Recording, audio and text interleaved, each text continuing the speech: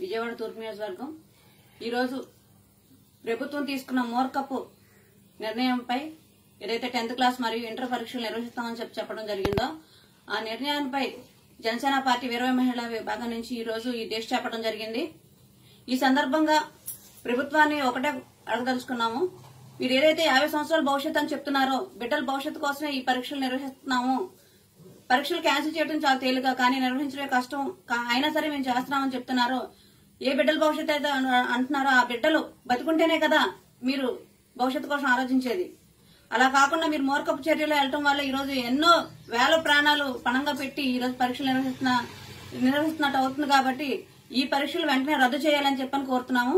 ఎందుకంటే ఈరోజు సగటున పది పద్దెనిమిది వేల నుంచి ఇరవై వేల వరకు కేసులు నమోదు అవుతున్న ఈ తరుణంలో ఇప్పటికే మనం ఆక్సిజన్ లేక బెడ్లు సరఫరా చేయలేక క్వారంటైన్ సెంటర్లో కూడా బెడ్లు ఖాళీ లేక ఎంతో ఇబ్బంది పడుతున్న పరిస్థితిలో ఎంతో మంది ప్రాణాలు పోతున్న పరిస్థితిలో మరింత మంది పది లక్షల నుంచి ముప్పై లక్షల మంది బయటకు వచ్చే పరిస్థితి ఉంది ఈ పరీక్షలు నిర్వహిస్తే గనక.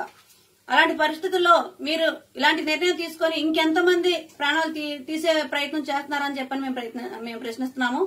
అలానే ఒకవేళ మీరేమైనా కొత్త పథకం ఏమైనా ఆలోచించారా? మీకు పథకాలంటే ఇష్టం కాబట్టి కొత్త పథకాలు ఏమైనా ఆలోచించారా?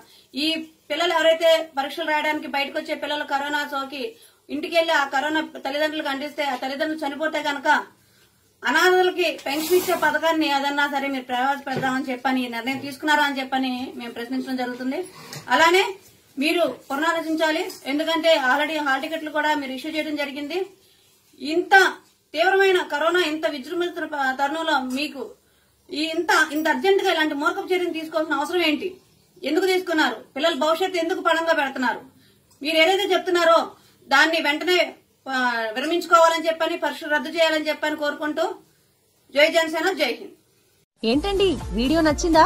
అయితే ఓ లైక్ వేసుకోండి. లేదంటే ఓ కామెంట్ చేయండి. ఎప్పటికప్పుడు మా వీడియోస్ చూడాలంటే సబ్స్క్రైబ్ చేసుకోండి.